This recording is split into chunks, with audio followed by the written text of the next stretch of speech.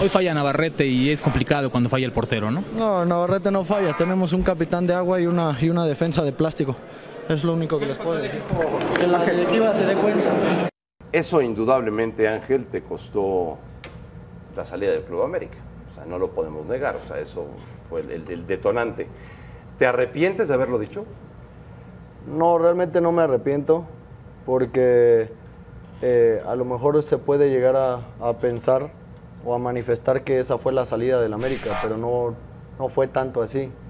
Eso ya se estaba buscando de hace un año, año y medio atrás. ¿Te trataron mal? No, para nada. ¿No? Nunca, nunca. Yo tengo eh, mucho cariño por el América, mucho agradecimiento. A todas las personas que trabajan ahí los quiero, tengo eh, contacto con ellos y, y no hay más que agradecer a- al Club América. Ángel, ¿por qué declaraste eso que declaraste? Bueno, porque en ese momento eh, las responsabilidades que se toman dentro de la, de la cancha no habían sido las correctas por, por los líderes del equipo.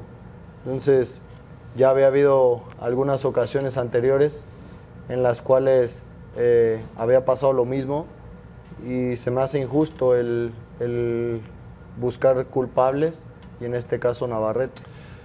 Carlos, cuando juegas en un equipo como el América y te tiras una declaración de estas, te disparas un pie. Pero no porque juegues en el América, ¿eh?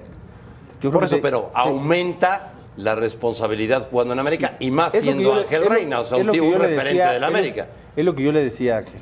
O sea, entiendo su coraje eh, de, de un tipo ganador, de un tipo que habla de frente, pero que muchas veces se nos barra y, y decirlas, si algo buscan o buscamos, ahora que estoy de este lado los medios, es esto, que a la larga a ti o no te viene bien. Yo no sé, yo, yo no creo tampoco que sea un detonante como para que él hubiera salido de América, pero sí fue a lo mejor una llamada de atención y hablar con él. Yo insisto en algo, él tiene demasiado fútbol y, y- y entiendo su carácter, pero con el fútbol basta para demostrar quién es quién. ¿Extrañas al América? No, realmente, eh, bueno, puntualizando lo que dice Carlos, también yo después de la declaración eh, debo agradecimiento, a- en este caso al presidente en turno en ese momento, a Michelle Bauer, a Sague que estaba ahí, a- a- al técnico eh, Alfredo Tena, porque realmente no hubo tanto ese problema por la declaración. Ellos simplemente, como, como dice, fue una llamada de atención y yo iba a seguir como si no pasara nada en América. Pero se había buscado una oportunidad para salir de, del club, para, para mi proyección como futbolista, ¿Pero por qué te soltó el América? Eras un referente, eres un tipo muy importante para Goleador. América. porque ya habíamos eh, acordado, si se puede llamar así, desde hace ¿Tú un te año, año ir? y medio atrás. ¿Sí te querías ir? Quería buscar la proyección eh, siempre y cuando hubiera buena oportunidad. Y en ese momento lo más conveniente era ir a, a Monterrey. Entonces, por eso se tomó la decisión. Eh, no todos se comportan igual. Él hablaba de Alfredo Tena y cuidado, ¿eh? tener de técnico a Alfredo Tena está, está duro, es Está pesado, es pesado. ¿Por? Porque, ah, claro, ¿dónde me meto? Yo también. El señor no lo quiere. Sí, sí. El señor no lo quiere. No, ¿Por no. qué? Porque me parece un buen técnico, porque me parece un tipo Yo- que sabe, me parece un tipo que se maneja derecho, porque me parece yo un te tipo yo honesto, sí me lo parece. quiero. ¿Te sigo diciendo? Lo- no, me deja- preguntaste por, te digo. Ok. Te respeto. Gracias. Este, por eso digo que me parece que es Hoy un está muy tipo caliente la mesa, ¿no? que- O sea, sí, Ángel- sí. Ángel No, a que trabaja bien. A ver cuándo me vuelven a Oye, invitar. a lo que quería, a lo que Mira, te quería voy a- te voy a redondear es- dos preguntas. No, pero quiero Una redondear ese que tema, si me tú. permitís. ¿sí? Sí.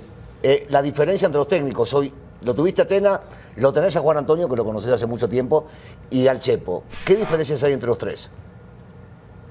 No, los tres son profesionales y, y son derechos. Ok, ¿cómo es el trato? Para, para, para. ¿Cómo es el trato? La ¿Cómo es el- terminar. ¿Cómo es el trato de cada uno de ellos? Que Tenas iba de frente.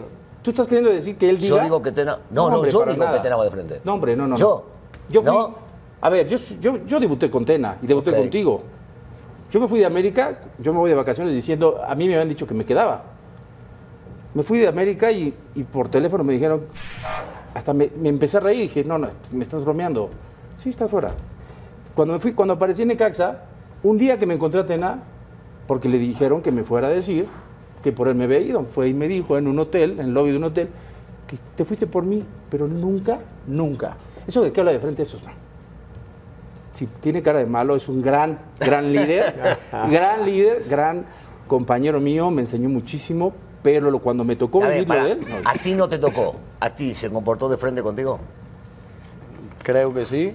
Yo no tengo ninguna duda y. y No, te- no le tengas miedo, que grandote, lo agarramos entre los dos, que y le agarro damos. este Sí, yo, yo te ayudo, Ángel, yo te ayudo, yo te ayudo. respeto, como dicen por ahí, yo respeto. respeto.